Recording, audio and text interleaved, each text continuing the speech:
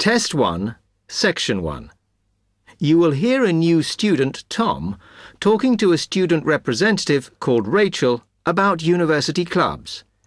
You now have 30 seconds to read questions 1 to 4.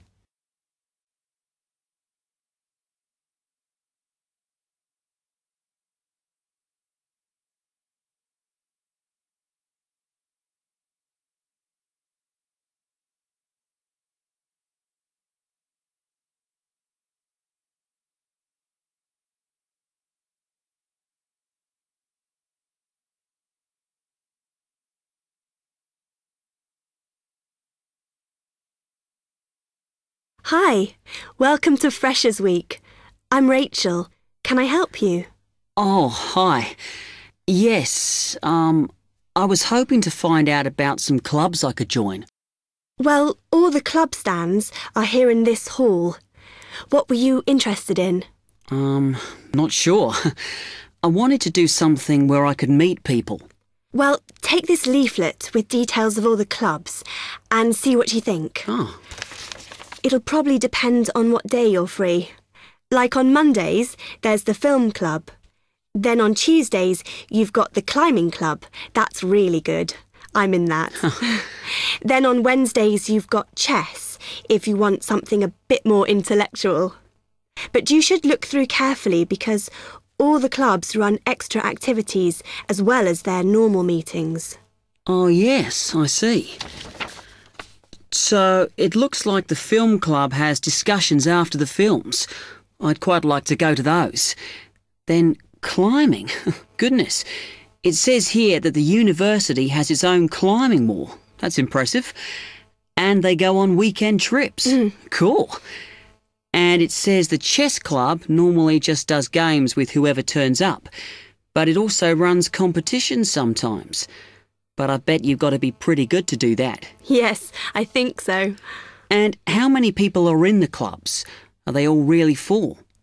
Well, obviously they're all different. So, for example, the film club has just increased its membership from 85 to 125. But I think they're hoping to extend it to 150. The climbing club's quite small, 40 people. And the chess club is fairly healthy at 55. Right. Okay. So who do I see if I want to join these clubs? Well, if you go round the stands and speak to the people there, for the film club, that's the events organiser. Um, for climbing, you'll need the club secretary, and the chess club is organised by one of the maths tutors. Okay? Yep. I think I'll start with the climbing club. It sounds good. Oh, well, as I said, I'm in that, so I might be able to help you a bit. You now have 30 seconds to read questions 5 to 10.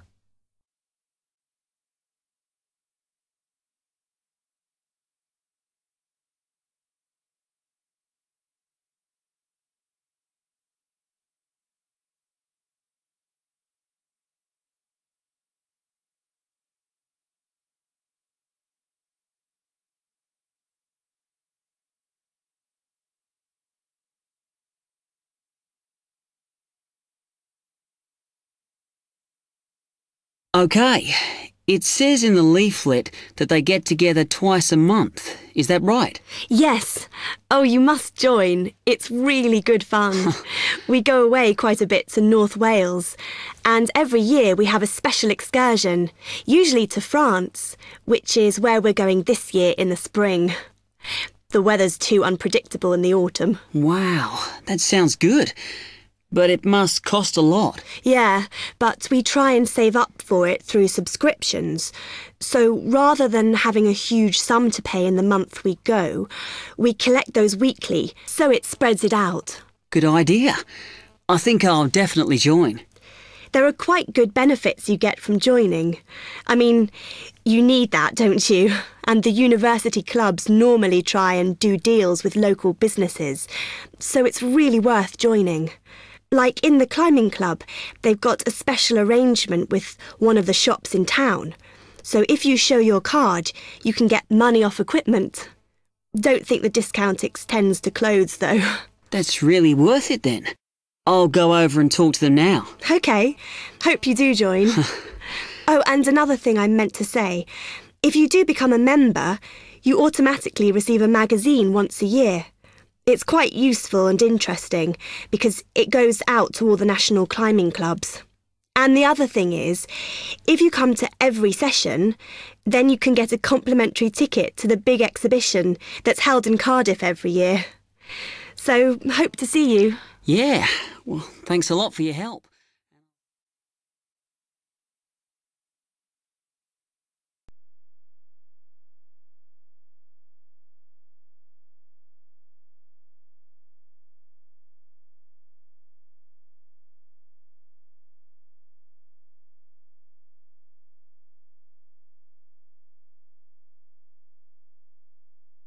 Test 1, Section 2.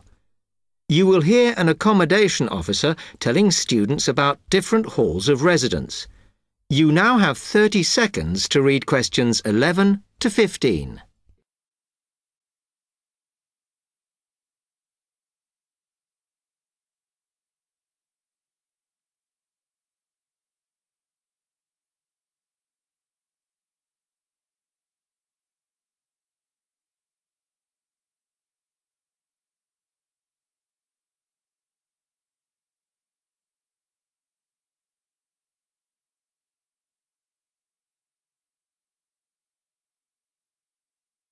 Afternoon, and welcome to Stanton University. I'm here to tell you about the various halls of residence we have available, should you choose to come here. We aim to offer accommodation in halls to all first year students, and you'll find there's a good variety to choose from. Uh, First of all, there's Brown Hall, which, as you'll see, is not the most modern of buildings, but it is very popular with some students. It's got a good sense of community, uh, some nice refurbished kitchens, and unlike the other halls, it has recently had a gym built in its basement. Another option is Blake Residence, which is built like a large house, and so everybody cooks and eats together. It has its own sectioned off bit of private garden and is even more peaceful because this is an all girls residence. Although, of course, boys are allowed to visit the hall and, uh, I understand, frequently take part in cooking dinner. The largest hall we have is Queen's Building, and this has been upgraded recently. The original parking area has been built on so that the hall now has a large common room, and each bedroom now has its own shower room, which many students regard as a real bonus. A further option is the Parkway Flats, which won an award for design in its day. And this building now has a preservation order on it. This has meant that only a limited amount could be done to upgrade it, and the surrounding area is important, so parking is not permitted around the flats. However, the flats do have many extra facilities, such as a special computer room, a small library, and a self service restaurant. The cost of breakfast, lunch, and dinner is covered in the fees for this hall, so it does look a bit more expensive. The last residence we can offer you is Temple Rise, which again is slightly more expensive than other halls as the rooms are larger. This has got very lovely views across to the coast, and this more than compensates for the fact that bathrooms here are shared between six students. However, the hall has domestic staff who clean the rooms once a week, so this is perhaps an attractive option for the messier amongst you. You now have 30 seconds to read questions 16 to 20.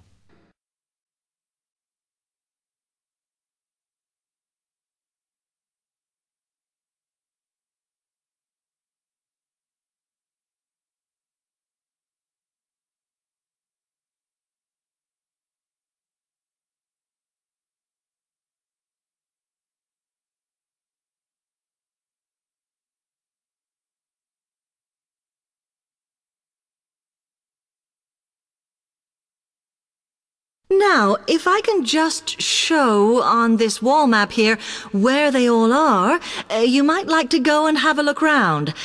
If you come into the main university entrance, at the first junction, you'll find that Brown Hall is on the corner opposite the theatre. So you're nice and near the station here, though I think it can get a bit noisy with traffic. The same applies to Blake Residence, which is directly facing the junction to the university entrance. These halls are often used by medical students and such like, as they're out all day, so don't notice the noise. Anyway, if you then walk along Campus Road towards the main circle, you'll see the library on the corner, and Queen's Building is just past that as you head north. You will find that it is quieter here, and you may get fewer visitors. By the way, the circle is quite a feature of the campus, as it's set into the hills and has a brand new sports center in the middle. It's worth going to look around it. Now, the Parkway Flats are on the opposite corner to the library, facing the circle, as you head towards the main buildings. The main buildings are only about a five minute walk from here, and places in these halls go quickly, so my advice is to reserve your place as soon as possible. Then Temple Rise is inside the circle, next to the sports center, but further from the main university buildings. Now, if you'd like to go off and physically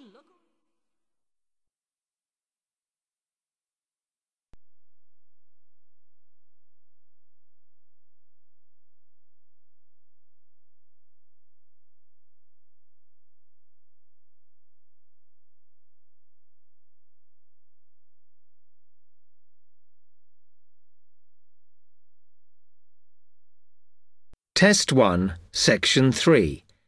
You will hear two students, Jenna and Marco, discussing a business studies project they have to do. You now have 15 seconds to read questions 21 to 24.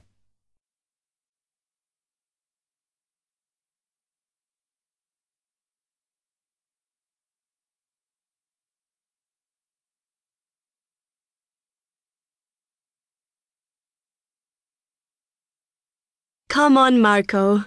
We've got to get on and sort out this project for Professor Buckley. Hang on. I want to make sure we've got all the information. Now, where are we?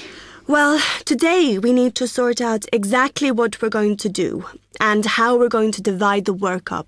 Okay. How long have we got, by the way? Um, the end of term is April 6th, and he said to hand it in on week 8, so that's March 25th at the latest, because the beginning of that week is the 21st, hmm. so not long. Right. Have you got the notes there? Yes. He wants us to do a fairly small scale study, like the last one, on whether or not businesses were offering more benefits to staff. Hmm. And we've now got to look at the rise in older workers. It should be fairly straightforward. Yeah, as long as we keep it small. Mm. Who's marking it? I don't know. Sometimes he gets the PhD students to mark it for him. Oh, actually, it just says here a senior lecturer. I mm. suppose it's too much for Professor Barkley to do them all. Yeah. Anyway, how are we going to go about this? Well, we have to decide how big we want it to be and who. Yeah, we- but I think we must sort out a timetable for the project. Otherwise, nothing will get done. Okay. Uh, do you want to do that? All right. I'll do it as soon as we finish here. You now have 15 seconds to read questions 25 to 27.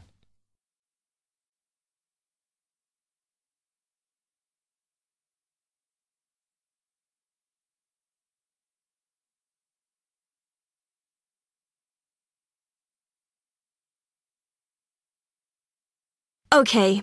What do we have to do now for the project? What's the best way to go about it? Um, Well, Professor Carter suggested we set up a focus group to get some in depth interviews, but I think that'll take a lot of time. Yeah, I agree. If we did a focus group, we'd have to spend time deciding who to include in it, and it's not necessary to do one anyway. Oh, fine. And if you agree, I think we should get in touch with the businesses on the list Professor Carter gave us and ask them if they're prepared to participate. Sounds good. Uh, then we can go there, give them questionnaires, and collect them later. Exactly. Okay. Uh, Then, do we need to book one of those study rooms in the library so we can work together to input the data? Mm, Perhaps not, as I guess just one of us could just sort it out actually. Yes, that would be easier. A lot of what we're doing is qualitative, so it'll be writing up rather than statistics. No software for that, I'm afraid. And I think it would look better if we had actual shots of some of the staff, because we're citing appearance as a factor in employability, aren't we? yeah, okay. I'll factor that all in when I sort everything out tonight. You now have 30 seconds to read questions 28 to 30.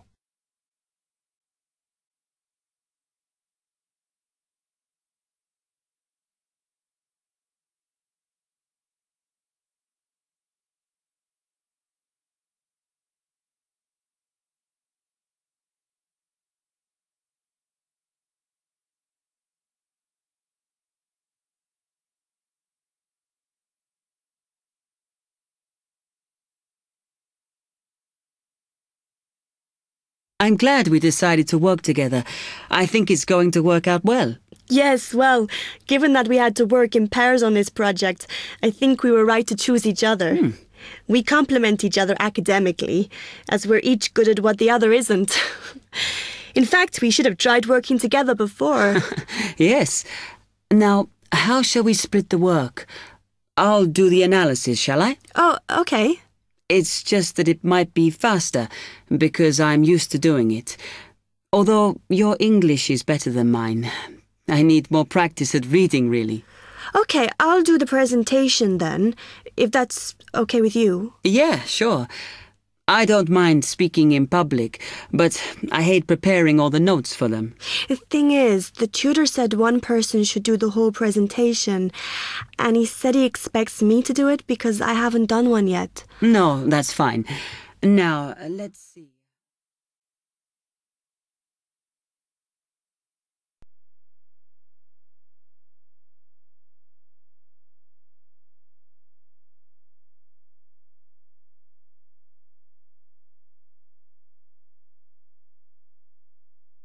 Test 1, Section 4. You will hear a media studies tutor giving a lecture about news sources. You now have 30 seconds to read questions 31 to 35.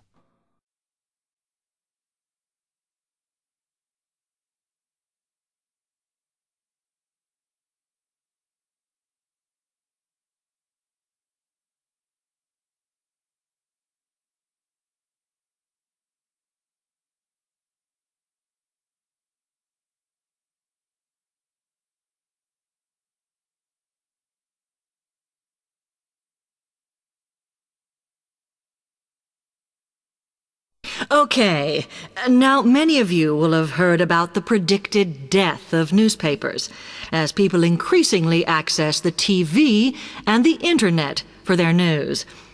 Today, I want to look at the USA, which has very advanced news sources, to see if this is actually true. In the USA, the main news sources without doubt are TV, the internet, and the press. That is, traditional newspapers. And although they are each surviving and growing, they are also changing. Obviously, TV news has been around for a while, and the early evening bulletins, when people get in from work, are very popular. I suppose we traditionally think of the morning newspaper arriving on our doorstep with the daily news. Interestingly, this is not borne out by the statistics, which show that readership in the U.S. is much higher when people have time to relax, when they're not working, especially on Sundays. The internet is also a popular weekend activity, but shows no variation with weekday access. So people are using the different sources in different ways. Interestingly, local radio has been hit less by the grip of quite strong local newspapers than by the internet, which is seen to offer a better regional service. But just because the internet is seen as the new force in news media does not mean it is dominant. Television has, of course, been global for a while. But now, technological changes, which have fueled the rise of online news, have also allowed newspapers to print and distribute editions across the world. In fact, Internet news, which is seen as the big competitor for traditional markets, does not offer that much variety. Often, the sources are the online versions of the newspapers, whereas television in order to offer something different, has had to come up with a much more mixed bag of reporting, from hard news to light reports on celebrity events. Another issue is reliability. The internet is virtually unregulated, so anything can be reported there, whether true or not. Journalists on newspapers have fought a long, hard battle to fight intervention and to retain the freedom of the press. Television, however, is seen as critical to political power and has become subject to harsh controls about what it can or cannot say. You now have 30 seconds to read questions 36 to 40.